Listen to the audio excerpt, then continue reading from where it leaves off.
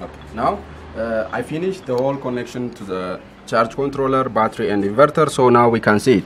So as you see it here, if I press this one, it says the panel gives a voltage and current to the battery and there is a DC output is connected.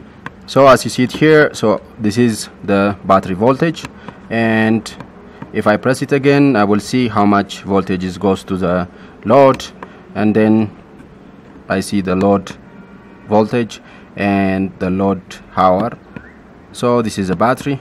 So this is a full the full system. So this is a battery this is a panel symbol positive and negative. This is a battery symbol and having with the positive and negative terminal. And this is the load having the positive and the negative terminal.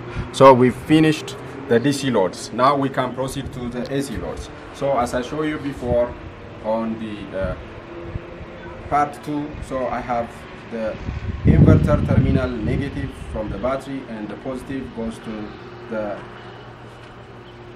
breaker so I have I connect the negative to I mean the positive terminal. So the positive should be break because we get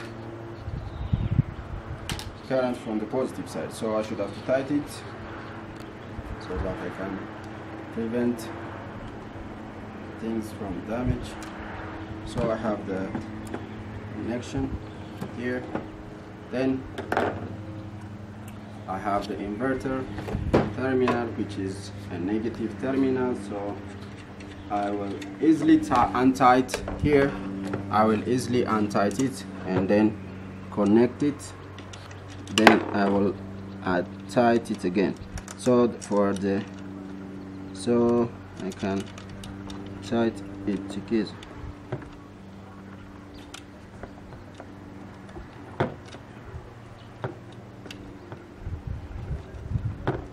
So I just tight it and then I have a positive from the breaker goes to the positive of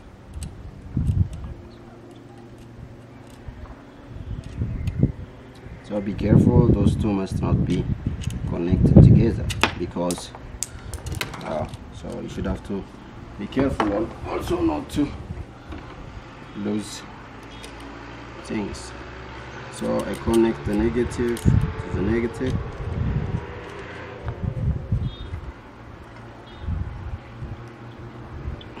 Then this goes to the breaker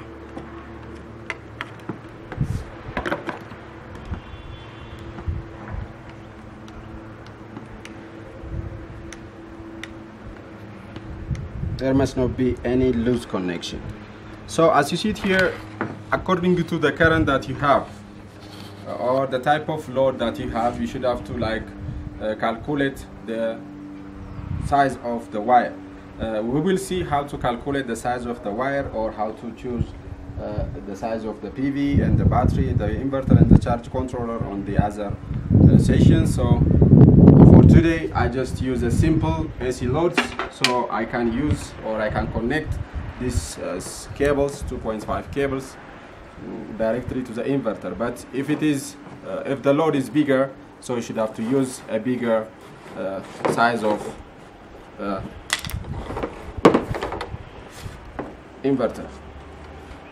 Now I connect the inverter here.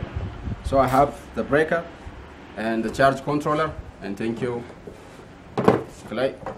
So now I can proceed to tightening the battery. As I showed you, the, the battery must be tight.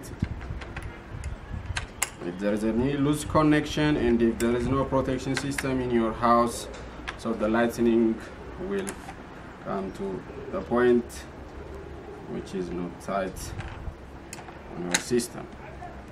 So you should have tied them together. So now I tied them together. So I have the AC, a DC, that means DC appearance. So now I can remove the materials. Now I can see.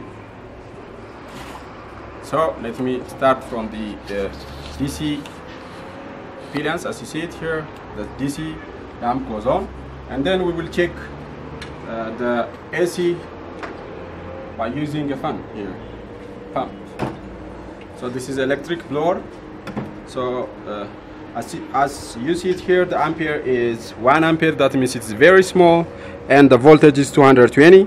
So I can directly connect. It's a single phase, so I can directly connect it to the inverter, and then turn it on and check check the connections. So it's the inverter is on so that the fan is on. Mm, there is something on the fan. Okay. Okay let us be careful with it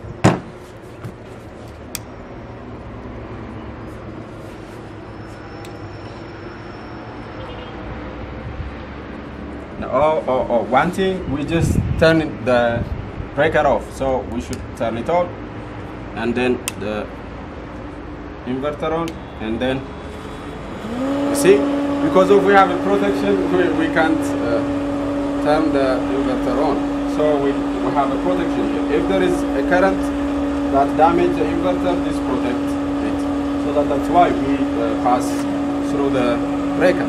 So this is how you do the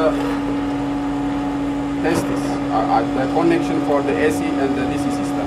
So as you see it here the blower fan that took AC from the inverter goes on and the DC that took the source from the charge controller is on. So in this way you can connect the solar home system. So thank you. So the next we will see how to uh, calculate those things and thank you for the energy institute and also Mekelle University uh, to uh, take this video so that we can use the devices from their lab. So thank you very much